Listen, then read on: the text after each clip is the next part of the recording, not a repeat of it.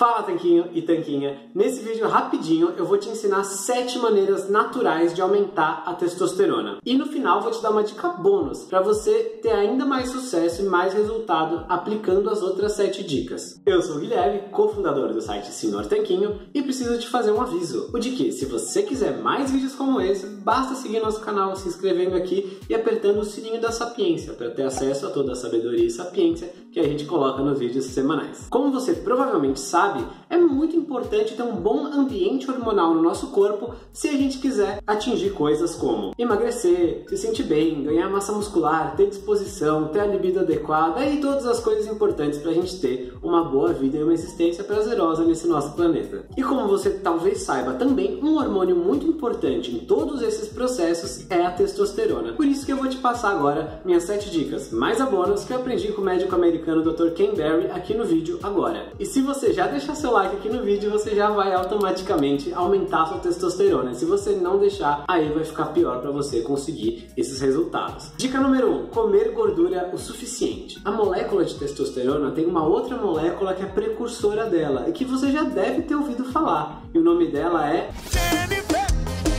não, é colesterol. Porque é o colesterol que ajuda a formar a estrutura de todos os hormônios sexuais que a gente tem no corpo. E ele é tão importante que quando você não ingere colesterol o suficiente, o seu corpo produz colesterol. O colesterol está presente nas gorduras de origem animal. E se você tem algum medo desse tipo, pode ficar tranquilo porque a gente já desmistificou isso em um outro vídeo que eu estou deixando aqui no cartãozinho no topo da tela. Sendo que quando você come gordura o suficiente, isso ajuda o seu corpo a produzir mais testosterona. E mesmo as diretrizes oficiais de países como os Estados Unidos já retiraram o medo, né, a restrição, o limite artificial que tinha para a ingestão de colesterol na alimentação. Então pode consumir sem medo, numa quantidade suficiente, isso vai te ajudar a produzir mais testosterona, especialmente se você vinha evitando esse tipo de alimento. Dentre os alimentos de destaque ricos em colesterol, temos a gema do ovo, né? Você pode comer o ovo todo, temos os queijos, as carnes, os frutos do mar, tudo isso é muito gostoso e pode te ajudar a aumentar seus níveis de testosterona de maneira natural. Dica número 2: reduzir açúcar, farinha e carboidratos refinados. Cada vez que você come esses carboidratos refinados, a sua insulina aumenta drasticamente. E a insulina e a testosterona têm um certo balanço mais ou menos complexo, mas o que acontece de maneira resumidíssima é que você não vai querer ficar dando picos de insulina no seu sangue a cada 3 horas comendo carboidratos refinados. Então, se sua dieta tem muito desses alimentos, talvez seja interessante diminuir a frequência e a quantidade do consumo deles. Dica número 3: diminuir diminuir o estresse. A verdade é que tem estresse bom e estresse ruim. E um estresse bom pode incluir, por exemplo, um dia de trabalho intenso num projeto que você está bem empolgado, um treino pesado na academia, um sprint ou um treino HIIT, por exemplo. Já o estresse ruim inclui coisas como não dormir direito, ficar preso em relacionamentos tóxicos cheios de brigas e trabalhar dezenas e dezenas de horas em um trabalho que você odeia. E esses itens que eu mencionei agora são tipos de estresse que aumentam cronicamente os níveis de cortisol no seu sangue, sendo que o cortisol cortisol desregulado tem vários sinais no seu corpo, como mesmo uma dificuldade para você relaxar e conseguir dormir à noite,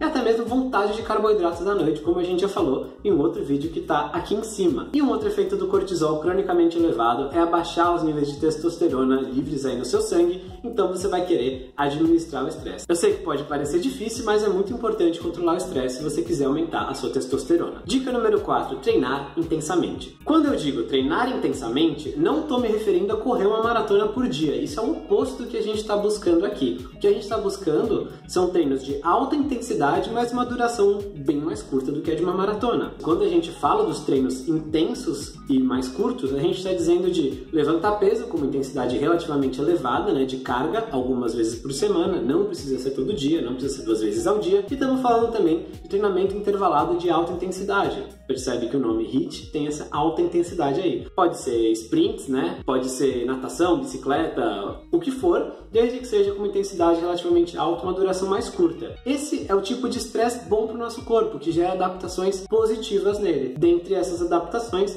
a gente tem justamente o aumento da testosterona. Além disso, de brinde, ainda aumenta o seu HGH, que é o hormônio do crescimento humano. A gente falou disso num texto do site, se você quiser saber outras 11 maneiras de aumentar o HGH naturalmente, comenta aqui embaixo que você quer saber sobre isso, que eu te mando o link do artigo. Dica número 5. Cuidar do aporte de alguns nutrientes muito úteis. Eu vou falar aqui quais são os três nutrientes e por que que alguns deles talvez você opte por suplementar e outros você consiga de maneira natural. O primeiro é o zinco. Algumas fontes alimentares de zinco incluem a carne vermelha e alguns tipos de frutos do mar, como por exemplo as ostras. Então, comer ostras pode elevar sua testosterona, e a testosterona está ligada à libido. Talvez por isso que algumas pessoas tenham a impressão, ou tenham ouvido falar por aí, que ostras são afrodisíacas. Não sei se é essa a história, mas é um link que faz sentido. Se você já ouviu falar disso alguma vez, comenta aqui embaixo que eu quero saber se essa é uma lenda urbana muito difundida ou não. Mas de toda forma, eu acho que você não vai comer ostras todos os dias, então a carne pode ser uma boa opção alimentar para suprir suas necessidades de zinco. Se você come mais ou menos uns 300 gramas, pelo menos, de carne por dia, talvez meio quilo, talvez mais, provavelmente você não precisa suplementar. Mas se você não ingere tudo isso, se você é vegetariano ou se você, por algum motivo, acha que está ingerindo pouco zinco, converse com seu médico e considere a suplementação. A suplementação de zinco é bem importante e pode dar diferenças significativas,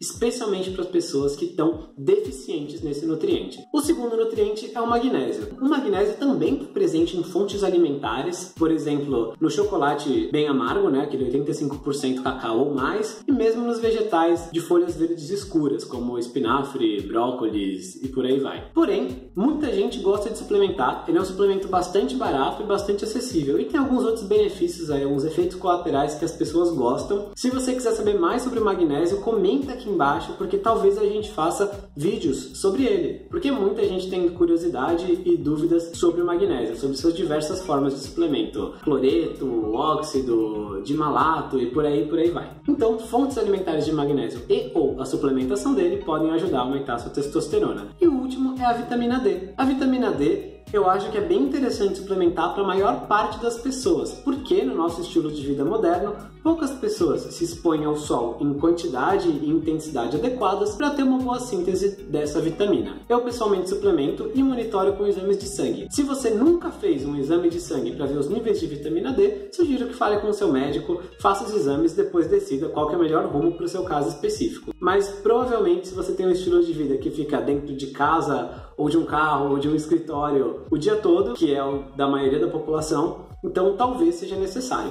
Fale com seu médico. Dica número 6: praticar jejum intermitente. Na minha opinião, esse é o que tem evidências mais fracas em termos de saúde para aumento da testosterona comparado com as outras dicas que eu dei, porém, mal não vai fazer, né? Se você é um adulto saudável, você tem condições de praticar o jejum intermitente e ele pode gerar um leve aumento nos níveis de testosterona e também nos níveis de HGH. Tem cinco regrinhas são muito importantes para você fazer jejum intermitente corretamente e eu vou deixar elas aqui no final desse vídeo, um outro vídeo com essas cinco regras que são importantes para o seu sucesso. Então, assiste isso aqui até o final e depois assiste o outro vídeo com as cinco regras. Vale a pena experimentar se você é um adulto saudável, se você não é adulto, não é saudável, tem alguma outra condição de saúde do tipo, tá grávida, tá amamentando, tem diabetes, etc., fale com seu médico antes de fazer. Sétima dica: emagrecer. A verdade é que se você tá bem acima do peso, emagrecer vai fazer seus níveis de testosterona aumentarem naturalmente. Por um lado, é claro que se você já é bem magro, tem 10% de gordura corporal e tiver que ficar num déficit calórico muito prolongado para tentar abaixar ainda mais os seus níveis de gordura corporal, por exemplo, para uma competição de fisiculturismo ou o que for, isso vai provavelmente diminuir os seus níveis de testosterona. Agora, se você tem uma barriguinha de chope, se você sabe que está acima do peso, que tem peso a perder, então provavelmente o que vai acontecer ao você emagrecer é que a sua testosterona vai aumentar naturalmente. Isso vai criar um ambiente hormonal mais favorável no seu corpo todo. Então, além de todos os benefícios que já existem ao você perder um pouco do peso em excesso que você tem, como melhora de diversos marcadores de saúde, ganhos de disposição, dentre muitos outros, né, ganhos na sua aparência, na sua autoestima, etc, etc, etc, ainda tem de brinde esse aumento na testosterona. E falando em brinde, vamos para nossa dica bônus aqui que eu prometi para você. A dica bônus e que vai te ajudar a potencializar os resultados que você vai obter ao seguir as outras 7 dicas que eu falei aqui no vídeo é se livrar dos xenoestrógenos. O que é xenoestrógenos, né? São estrógenos estrangeiros ao seu corpo. Xeno é alguma coisa que vem de outro lugar. Então, o que a gente está falando aqui são de disruptores endócrinos. E os disruptores endócrinos nada mais são do que substâncias artificiais que poluem o nosso ambiente, né? Podem acabar em contato com a gente e acabar imitando os efeitos dos estrogênios naturais. Então, qual é uma maneira simples de a gente limitar a exposição a um grande disruptor endócrino que é relativamente comum hoje em dia? A maneira simples a gente evitar comer ou beber coisas quentes em recipientes de plástico. Então, se você chegou no seu carro e tinha deixado uma garrafinha com água lá, mas ela ficou no sol e aí tá super quente a água, parece que vai sair vapor de dentro daquela garrafinha, talvez seja melhor não beber aquela água. Então, se você for comer marmita ou se sobrou comida e você vai guardar no Tupperware e depois vai esquentar e comer, evite fazer isso no plástico. Evita, por exemplo, tomar cafezinho naqueles copinhos de plástico. Claro, quando você puder evitar. Quando você só tem essa opção, tudo bem, é uma exceção. Agora, no seu dia a dia, talvez você possa fazer escolhas melhores. E as escolhas melhores envolvem, por exemplo, usar recipientes de vidro, ou de inox, ou de cerâmica para essas situações com coisas aquecidas. Enquanto tomar coisas geladas, né, tipo uma água gelada na garrafinha que eu mencionei antes, é mais ok do que a água quente. Essa dica e mais as sete que eu passei logo antes podem te ajudar muito a aumentar os seus níveis de testosterona naturalmente. E já que você chegou até aqui, não esquece de deixar seu like no vídeo e comenta aqui embaixo para mim qual dessas dicas te surpreendeu mais? Alguma delas você não conhecia? Já conhecia? Comenta aqui embaixo qual sua dica favorita. E aproveita e veja as minhas 5 dicas para o jejum que eu mencionei. Tá no vídeo aqui do lado, eu gravei para você e eu acho que você vai se beneficiar muito. Também se inscreve no canal para receber os vídeos novos toda quarta-feira, tá certo? Um forte abraço do Sr. Tanquinho.